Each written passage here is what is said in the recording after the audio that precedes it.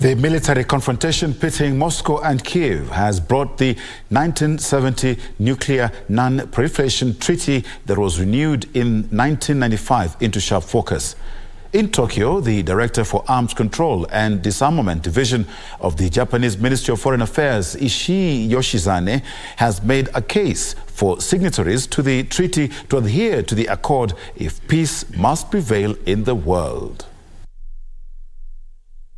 There are fears that the ongoing bombardment of Ukraine by Russia could prompt a return of the arms race and a rise in the number of countries eager to establish their own nuclear capabilities as part of their defense mechanism.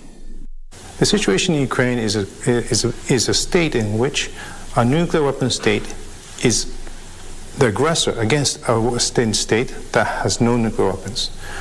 Um, and is, this is part of a very important theme for Japan in the G7 Hiroshima summit, because basically we have to hold, uphold the rule of law.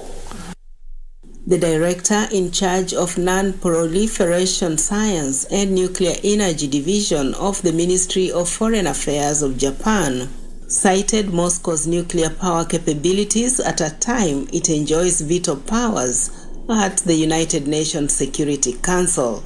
The fact that the treaty lacks any inbuilt mechanisms to enforce it in case of violations by member states is a major concern. He says the world cannot sit back and watch as Russia threatens to use nuclear weapons against Ukraine. That Hiroshima and Nagasaki, the ideas of Hiroshima and Nagasaki, um, and uh, I think understanding the realities of Nagasaki and Hiroshima provides a moral, moral impetus for everyone to adhere and endear themselves to the treaty.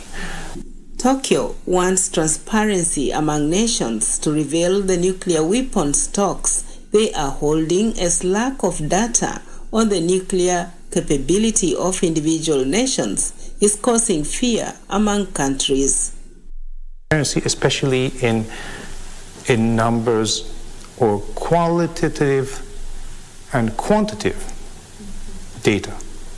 So you, you want to make sure you, everyone else knows how many nuclear weapons nuclear weapon states have, what they're doing with it. Judith Akolo, Tokyo, Japan.